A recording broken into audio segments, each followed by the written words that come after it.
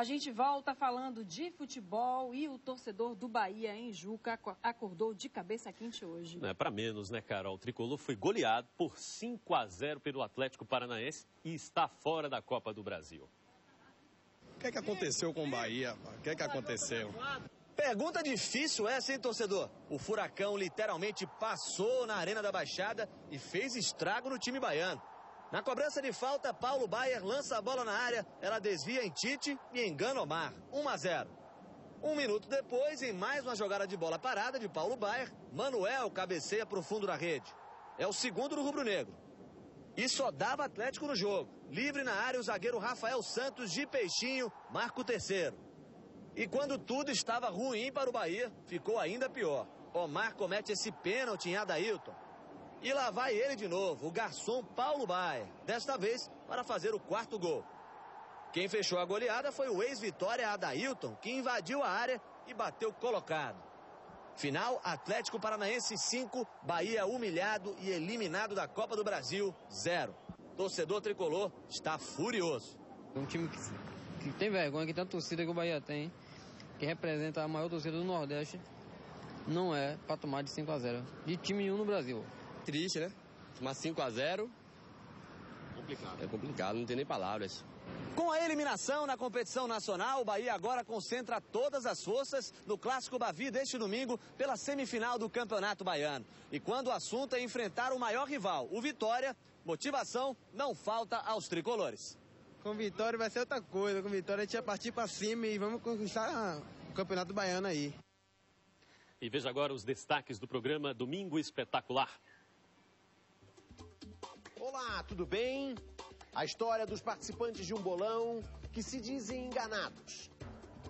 Saiba por que a polícia indiciou cinco pessoas acusadas de roubar um bilhete premiado. Quem ficou com o prêmio da Mega Sena? E como vivem os nove amigos que ainda sonham em ser milionários? Temos esperançoso. A justiça seja feita. O chimpanzé artista que recorreu à justiça para sair do zoológico. Os advogados dizem que ele tem direitos iguais aos seres humanos. Saiba se Jimmy vai conseguir a liberdade e porque muita gente entrou nessa briga dos dois lados. E você vai ver também. Nossos repórteres desembarcam numa das regiões mais belas e misteriosas do norte do Brasil. Você vai conhecer o vilarejo onde existem mais jacarés do que pessoas. E a cidade onde ser traído pela mulher virou um motivo de orgulho. Quer levar um troféu para você? Está interessadíssimo. É no domingo espetacular, às 8 da noite. Até lá. Um homem manteve a namorada refém por cerca de 18 horas no município de Alagoinhas, no interior da Bahia. O repórter Walter Lima tem outras informações. Adams Flávio Souza Cerqueira está preso aqui no complexo policial de Alagoinhas, a cerca de 100 quilômetros de Salvador. Ele manteve como refém a namorada e chegou a ameaçá-la com uma faca. O fato aconteceu nesta casa, no centro da cidade. Segundo a polícia, os dois seriam brigados no final da tarde desta quarta-feira, quando Adams resolveu trancar a jovem no quarto.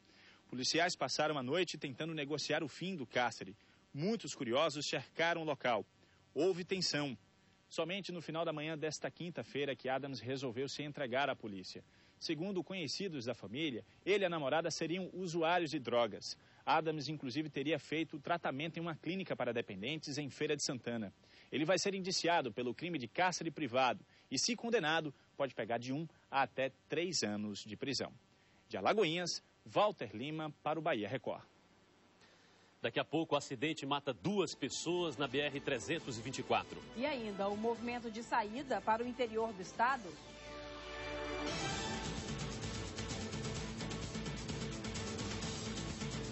Agora você vê imagens ao vivo da Avenida Oceânica, no bairro da Barra, em Salvador, com trânsito tranquilo. 8 horas 17 minutos, a gente volta já. Bahia.